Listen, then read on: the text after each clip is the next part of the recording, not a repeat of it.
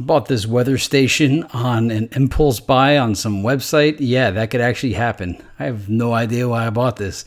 I just, I guess I wanted to see what that screen looked like. Look at it. it I think it was the transparency of it that drew me to it. But the reality of it was like, wow, did I just buy this? That's okay. It's hanging on one of my, well, actually, it's not even hanging. It's just kind of sitting there in between some statues. It's cool though. I use it to compare to other thermometers in the house. Can't have too many thermometers. Thermometerize everything, measure everything. Every room has its own thermometer. If you'd like to buy this weather station, there is a link in the description below. Thank you for watching Technuba. Technuba.